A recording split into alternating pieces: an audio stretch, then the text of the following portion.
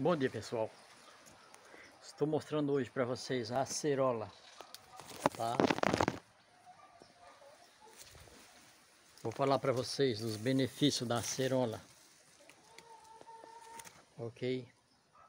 Vocês tomando o suco dela, naturalmente, tá? Nada de coar, com bago e tudo, todo bagaço. Só tira mesmo a semente, mais as casquinhas, Deixa tudo, toma isso junto, tudo junto.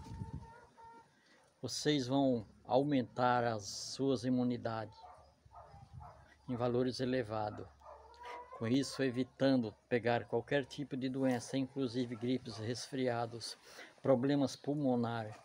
Ok? Quem tem aquela tosse comprida que nunca sara, aquele pigarro que tem mais de anos ou muito mais. Toma o suco natural com bagaço e tudo, tá?